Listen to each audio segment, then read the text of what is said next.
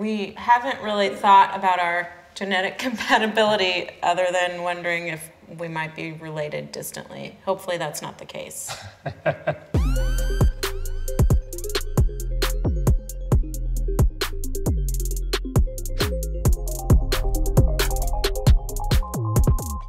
Okay, I'm Lissy. I'm Shay. Uh, we've been together for, it'll be three and a half years in February. Hi, I'm Chance. I'm Lauren, and we've been together for five ish years. Yes, so we got engaged a month ago. I was really surprised when he asked. There was no no nerves whatsoever until three seconds before my knee hit the ground. Then I just all of a sudden couldn't even breathe.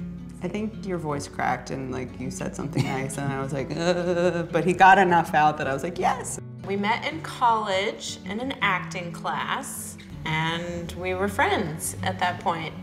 Lucy loves very hard. She's never hesitant to give support and to give love, and that's, you know, that's amazing. He's very patient with things that like I get really anxious about, um, so he really balances me out. He always makes me laugh. She's very resilient and really focused, and she helps me with staying focused. Chance is very transparent about who he is, and I think he just also is really good at listening to other people and meeting them where they are.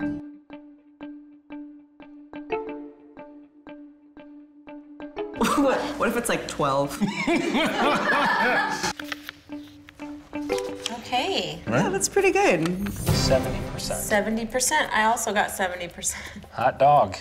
Overall compatibility, 77%.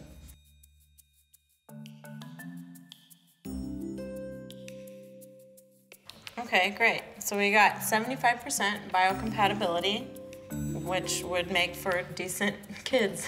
Yeah. Decently strong. We've got 76% for biocompatibility. Our child is gonna have a pretty big butt. Oh yeah, they're gonna have really big butts. And then neurocompatibility is 92. It says we have a unique combination of physical attraction and psychological compatibility, so that's good. Neurocompatibility, 84%, which is above average.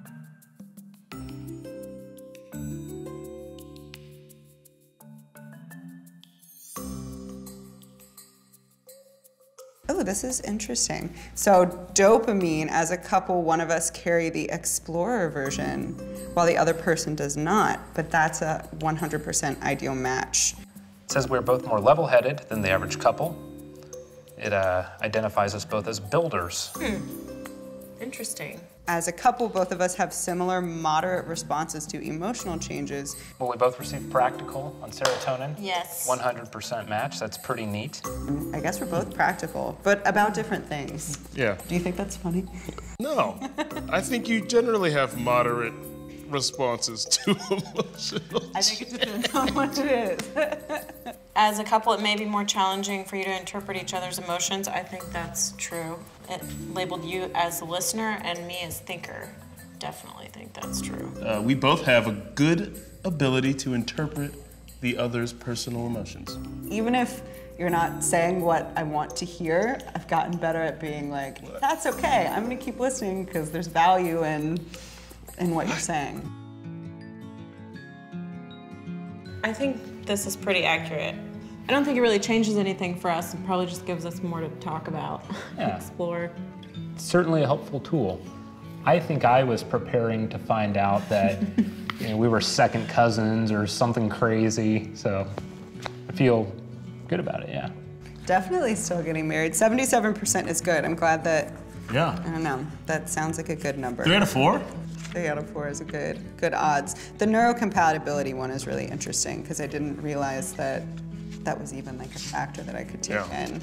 It said dopamine, serotonin, and oxytocin were all like 100% like well matched in oh, that sense. category, which is super interesting. And isn't isn't serotonin what makes you happy? The happy molecule in your brain? We're 100% matched for happiness. Good job. Proud of you.